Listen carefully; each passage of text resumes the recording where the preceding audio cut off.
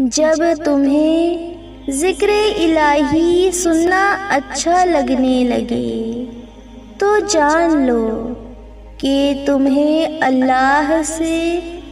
और अल्लाह को तुमसे मोहब्बत हो गई है